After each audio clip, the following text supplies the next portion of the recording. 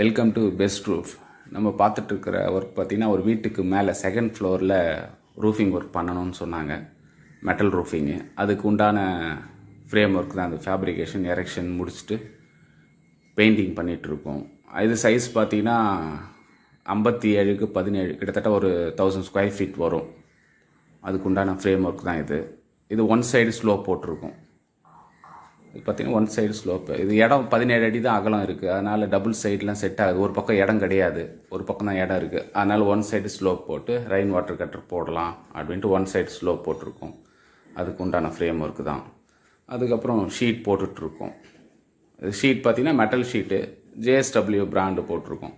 Thickness வந்து maximum thickness தான். Point four seven தான் இருக்குது அந்த திக்னஸ் தான் போட்டுட்ருக்கோம். ஷீட்டு பார்த்தீங்கன்னா பாட்டத்தில் அந்த லைட் கிரே வரும். அதுக்கு மேட்ச் பண்ண மாதிரி தான் பைப்புக்கெலாம் பெயிண்டிங் பண்ணியிருக்கோம். தனித்தனி தெரிய வேணாம் ஒரே மாதிரியாக இருக்கணும் அப்படின்றதுக்காக தான் அந்த மாதிரி போட்டிருக்கோம். சைடில் ஒரு நாலடி கவர் பண்ணியிருக்கோம். சாரெல்லாம் வர வே வரக்கூடாதுன்றதுக்காக. ஃபுல்லாக கவர் பண்ணால் ஹீட்டு தெரியும். ஃபுல்லாக கவர் பண்ணால் விண்டோலாம் போடணும். அதனால் நாலடி போட்டிருக்கோம். இது டாப் வியூ இது. இது off white off white colour தான் போட்டிருக்கோம் என்னென்னா ஹீட்டு கொஞ்சம் ரிஃப்ளெக்ட் ஆகும் ஆஃப் ஒயிட் போட்டால் அதுக்காக ஆஃப் ஒயிட் போட்டிருக்கோம் சைட்லலாம் அந்த கார்னர் ஃப்ளாஷிங் போட்டிருக்கோம். அது கிரே கலர் போட்டிருக்கோம். அது கொஞ்சம் லுக்காக இருக்கும் அப்படின்றதுக்காக அவுட்டரில் எல்லாமே அந்த ஃப்ளாஷிங் போட்டு போட்டுட்ருக்கோம் இது பார்க்குறது வந்து பார்த்திங்கன்னா ரெயின் வாட்டர் கட்ரு போட்டிருக்கோம். அந்த எண்டில் ரெயின் வாட்டர் கட்ரு போட்டு ஸ்டிஃப்னரில் கொடுத்துருக்கோம். இந்த ஐம்பத்தி ஏழு அடிக்கு ஒன் சைடு ஸ்லோப் இருந்தால் ஒரு பக்கம் ரெயின் வாட்டர் கட்ரு போட்டாவே போதும். இது கனெக்ட் பண்ணி ஒரு இடத்துல எடுத்து போயிட்டு தண்ணி விட்டுடலாம். ஃபுல் லென்த்துக்குமே போட்டிருக்கோம்.